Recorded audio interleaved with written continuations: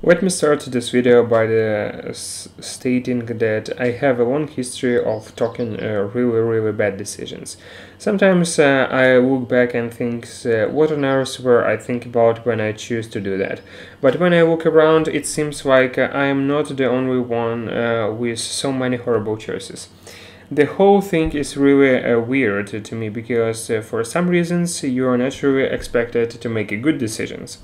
If you are a normal person without any brain damages, you should be able to realize the common sense. But let's be honest, common sense isn't always so common.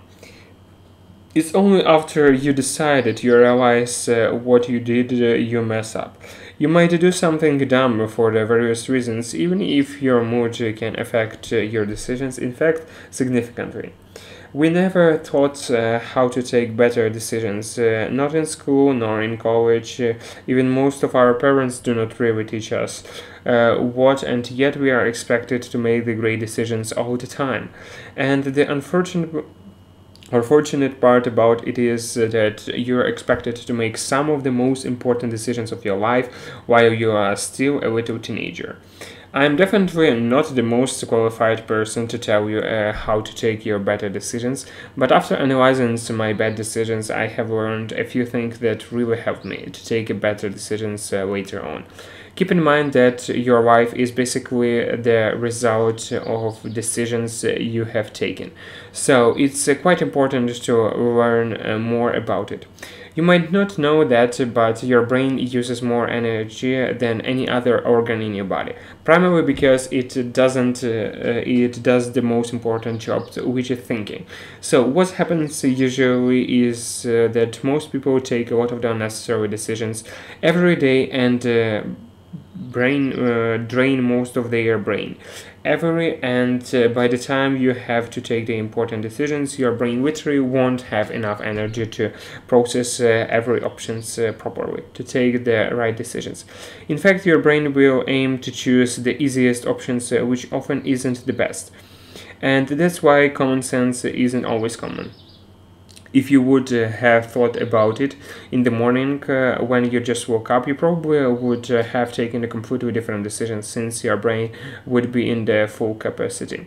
Of course, you can certainly get right uh, over the day to day decisions, uh, but uh, what you can do is to automate them as I do.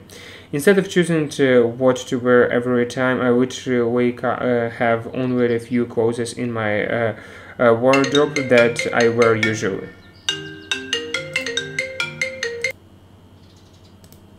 Instead of choosing what to wear every time, I literally have only a few clothes in my uh, wardrobe that I wear usually. Even if it is special occasions, uh, I limit myself to only a couple of the choices.